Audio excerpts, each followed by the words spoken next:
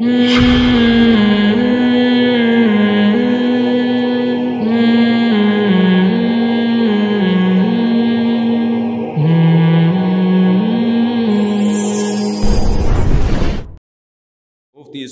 हज की फजीलत और ना करने की वईद। एक रिवायत में आता है कि जो हज जिस पर लाजिम हुआ, वो हज ना करे तो वो यहूदी होके मरे, ईसाई होके मरे, मुझे उसकी परवाह नहीं है। और कुरान के अल्फाज देखो कि वलील्लाहिज्जुलबैती मन सबीला। अल्लाह के लिए लोगों पर लाजिम है कि जो बैतुल्ला जाने की इस्तात रखते हैं, वो बैतुल्ला का हज करें। आगे कुरान के अल्फाज देखो। वलील्लाहिज्जुलबैती मन सबीला। आगे क्या अल्फाज हैं? वमन कफ़र फ़ैन गनी गनीमीन जो इनकार करेगा तो अल्लाह तमाम जहान वालों से गनी है। क्या मतलब? बड़ी बहुत बड़ी धमकी है कि जो नहीं आएगा ना इस्तात के बावजूद, अल्लाह को उसकी कोई ज़रूरत नहीं है। ये जब धमकी के अल्फाज वाजे नहीं होते ना, मुबहम होते हैं तो बलागत का कायदा है कि ये धमकी छोटी नहीं होती, बल्कि बहुत बड़ी होती है। तो अल्लाह कह रहे हैं, मुझे फिर तुम्हारी ज़रूरत, मुझे तुम्हारी कोई ज़रूरत नहीं है। तो इस्लाम का एक रुकन है। आज क्या होता है? मैं हज पे जब गया था, अफसोस के साथ कहना पड़ता है कि सारे बुढ़े बुढ़े, बुढ़ियाँ बुढ़ियाँ आ रही होती हैं हज के लिए। ठीक है, अल्लाह उनको इस उम्र में तोफीक दे रहा है, अच्छी बात है। ना आने से बेहतर था कि चलो अब आ गए। मेरे भाई, ये जवानी का काम है। समझते हो? जब जैसे ही पैसा आए, सबसे पहला काम क्या करो? हज करो। उसको डिले करते हैं। सारे कामों से फारे होकर, बच्चियों की शादियाँ, अपनी भी चार टोटल मुकम्मल सॉरी गलती से निकल गया। अपनी भी शादी हो गई। कुछ चीज़ें मेरे मुँह से गलती से निकल जाती। अपनी भी एक शादी हो गई और फिर क्या है कि वो सारे बिज़नेस बिज़नेस से फार हो, हुला के जब अब करने, धरने का कुछ भी नहीं है, बैठा हुआ है। क्या करें यार? बोरियत बहुत हो रही है। और दुगुल भी सारी किस्तें ख़त्म हो गई। देख लिया, कोई नई सीरीज़ भी नहीं आ रही। वो ड्रामा चल रहा था, वो भी ख़त्म। नई फ़िल्म भी देख ली, ठीक है ना? सब कुछ हो हुआ कि क्या करें यार, अब तो बेगम को मशवरा दो। चले, हज पे ना चले? चलो, ठीक है, कहाँ चलते हैं? ठीक है भाई, हम जो बुढ़ापे में भी जा रहे हैं, हम खुदा न खास्ता उनको बुरा नहीं कह रहे। नेकी तो जिस उम्र में की जाए, जब अल्लाह कबूल कर रहा है तो हम कौन होते हैं? लेकिन यार, तुम बाकी तो सारे काम तुमने जवानी के लिए रखे हुए हैं। हज तुम मौखर कर रहे हो, जब उर्तुगल ड्रामे की सारी किस्तें ख़त्म हो जाएँगी। बुरी बात है ना ये? जब आप अल्लाह के हुक्म को वैल्यू नहीं दोगे तो अल्लाह आपको वैल्यू देगा। देखो, हज आपकी ज़िंदगी पलट देता है। तो ज़िंदगी पलटने की ज़रूरत जवानी में है। जवानी में चेंज हो गए, आगे खैर का बहुत ज़्यादा मौका मिलेगा। बहुत मौका मिलेगा। दर जवानी, तोबा करदन, शेवाए पैगम्बरी जवानी में तोबा करना किसका काम है? पैगम्बरों का काम है। तो हज में इंसान बाज दफ़ा ज़िंदगी चेंज हो जाती है उसकी। जब वो अल्लाह के शायर देखता है ना वहाँ पे, कैसा लाखों का मजमा मिना से, अरफात से निकल के मुजदलिफ, चींटियों की तरह लोग होते हैं। कैसी एक एक अल्लाह की निशानियाँ नज़र आती हैं वहाँ पर कैसा दीवानों की तरह बैतुल्ला का तवाफ।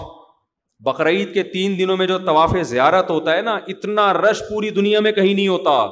लाखों लाखों रुपए लोग खर्च करने के गए में और अल्लाह के घर के गिर्द घूम रहे होते हैं। जरा कभी छत से खड़े होकर हरम की छत से देखा करें। एक इंसानों का समंदर है और वो सारे बैतुल्ला के गिर्द दीवानावार घूम रहे हैं। ये इस्लाम की अजमत देखने का मौका मिलता है। इससे इंसान के अंदर दिल तब्दील होता है। हज में बड़ी कुर्बानियाँ दी जाती हैं और हज तो है ही सारी दीवानगी। हज के अक्सर अहकाम ऐसे जिनकी बज़ाहिर कोई लॉजिक नहीं है। अल्लाह ने कहा, मेरे दीवाने बन के आओ जैसे जैसे कह रहा हूँ, करते चले जाओ। कैसे अजीब अजीब काम करवाए जाते हैं। सबसे पहले हमसे हमारा लिबास उतरवा लिया। थ्री पीस सूट और टाई में जो घुमा करते थे, बालों की कटिंग और उनको दो चादरें पहनाई जा रही हैं। अब इंसान के बच्चे बन के आना हमारे घर में। अगर दीवाने हो तो दीवानों वाला स्टाइल चाहिए। अभी वो जो ऑफ़िस जिस स्टाइल में जाते हो ना, वो वाला स्टाइल बोलो, नहीं चले जो अल्लाह के नेक बंदे हैं, जो अल्लाह के हुक्म के सामने सर झुकाना जानते हैं, अल्लाह से उन अहकाम की लॉजिक नहीं पूछते, जैसे शैतान ने पूछा था ना, क्यों सजदा करूँ मैं आदम को? वाय तो ये नहीं पूछते। इब्राहिम सलाम को अल्लाह ने हुक्म दिया, बेटे को ज़बा करो। ये हुक्म बज़ाहिर ज़्यादा इलॉजिकल था कि मासूम बेटे की गर्दन काटने का हुक्म दिया जा रहा है। शैतान को जो हुक्म दिया, सजदा करो, ये इतना इलॉजिकल नहीं था। लेकिन शैतान शैतान ने कहा, इसकी लॉजिक क्या है? मेरी समझ में नहीं आ रहा। मैं आग से बनाऊँ ये मिट्टी से मैं क्यों सजदा करूँ? आदम सलाम को इससे ज़्यादा अजीब हुक्म दिया कि अपने मासूम बेटे को अपने हाथ से काट दें, ज़बा कर दें। सॉरी इब्राहिम सलाम को। लेकिन इब्राहिम सलाम ने इसकी लॉजिक बोलो, नहीं पूछ। कहा, बेटा, मुझे अल्लाह ने हुक्म दिया तुझे काट दूँ। बेटे ने कहा, जब अल्लाह का हुक्म है तो भाई हम क्या कह सकते हैं? भाई, काट दें आप मेरा गला काट दें, जबा कर दें। तो हज इन इन अहकामात की भी यादगार है। तो आप जाते हैं हज पे, वहाँ आप जानवर ज़बा करते हो, आप रमी करते हो, वहाँ शैतान नहीं है, वो तो एक निशानियाँ हैं तीन। लेकिन आप पत्थर मारते हो, रमी करते हो, क्यों इब्राहिम सलाम ने यहाँ शैतान को कंकरियाँ मारी थी जो आपको बहका रहा था कि अपने बेटे को क्यों जबा कर रहे हो? क्या बिगाड़ा इसने? इब्राहिम सलाम ने शैतान को दलाइल से जवाब नहीं दिया, पत्थर उठा के मारे। अल्लाह ने कहा, तुम जाओ, वहाँ कंकरियाँ फेंको। अब अल्लाह, वो तो इब्राहिम सलाम थे, वहाँ तो सच्ची मुच्ची का शैतान था। मैं क्यों कंकरियाँ फेंकूं? तो इसका मतलब जब आपने क्यों कर लिया तो आप किसकी लिस्ट में आ गए? शैतान की। कैसा अजीब हुक्म है, जाके सात कंकरियाँ मारनी भी ऐसे हैं। या तो होता ना, वो उठा उठा के मारो तो समझ में आता है। ऐसे ऐसे फेंकनी है जाके। हाजी दस पंद्रह लाख रुपए ये करने के लिए जा रहा हो। खर्च करता है ये काम करने। एक तूफ़ान लोगों का कंकरियाँ मारने के लिए। क्यों? किसका हुक्म है भाई? अल्लाह का हुक्म है, अल्लाह का ऑर्डर है। लिबास उतार लिया अपना। कितना मुश्किल काम है अनसिला लिबास पहनना। तीन चार दिनों में दिमाग ठिकाने आ जाता है। फिर जब हम पहनते हैं ना अपनी शलवार कमीज, ऐसा सुकून मिलता है यार। मैं जब हज करने गया तो मीना में, मैं तो तीन दिन सोया नहीं। एहराम की हालत में ना, क्योंकि रश इतना बहुत जितना भी वीआईपी है, जो टेंशन होती है। फिर मीना में मेरा बिस्तर लग गया एक साहब के साथ। वो बगल मुझे दिखा रहे हैं अपनी के देख ले भाई। यूँ करके सो रहे हैं उनकी बगलें, माशाल्लाह। मैं, मैंने कहा, यार, इसको अब क्या करे आदमी? उनको क्या करे? यार, ये मुझे क्यों दिखा रहे हो भाई? नींद ही नहीं आ रही हमें इस टेंशन से कि किसी के पसीने की स्मेल आ रही है, किसी की बगले का मुताला करने का मौका मिल रहा है, इसका क्या है? इंसान को घिन आती है ना इन चीज़ों से। लेकिन ला रफसा वाला फसूखा वाला जिदाला फिल हज, आपको चीखने चिल्लाने की इजाज़त नहीं है कि क्या कर रहा है? तुझे तमीज़ नहीं है हज करने की? मैं ये भी कह सकता था ना ठट्टा उड़ो ये क्या मुझे बगल दिखा रहे हैं, बाजू नीचे कर। ना ना ना ना, अल्लाह कहते हैं ये ये नहीं चलेगा वहाँ पे। अल्लाह क्यों नहीं चलेगा? अल्लाह कहेंगे, क्यों किया तो किसकी फहरिस्त में? शैतान ने क्यों किया था? नहीं, झगड़ा वगड़ा नहीं है। जो जैसा है, बर्दाश्त। ट्रैवल एजेंसी आपके साथ जुल्म ज्यादती कर रही है, चुप। आके फिर क्लास लो इनकी यहाँ पे। ट्रैवल एजेंसियाँ बड़ी होशियार होती हैं, उनको पता है आने के बाद कौन पूछता है, ठीक है ना? तो जो जो होगा, क्यों की इजाज़त नहीं है? क्यों वाला काम शैतान का है? फला रफसा, वला फसूका, वला जिदाला, फिल हज। कोई गुनाह नहीं करना, बदनजरी नहीं। मौके बदनजरी के बहुत मिलेंगे।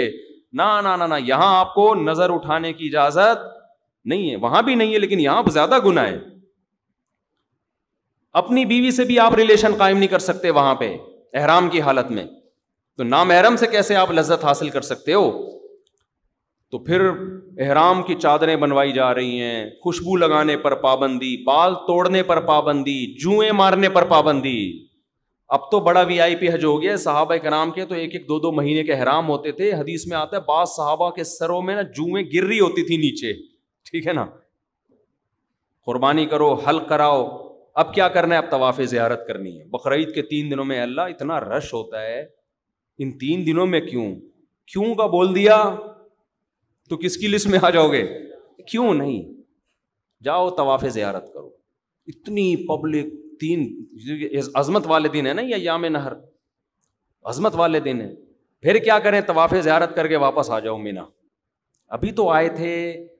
अल्लाह ने कहा अब वापस जाओ। बस जो मेरा बंदा होगा वो ये काम करेगा।